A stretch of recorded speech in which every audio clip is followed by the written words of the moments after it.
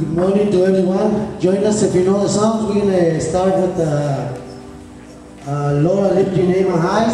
If you know the song and wants to join us to sing, let's praise the Lord.